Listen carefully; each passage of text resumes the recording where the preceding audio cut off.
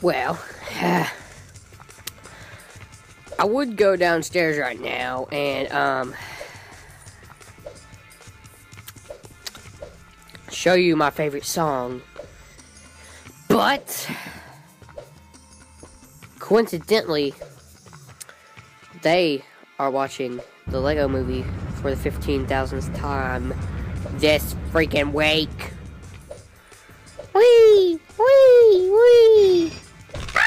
What the heck?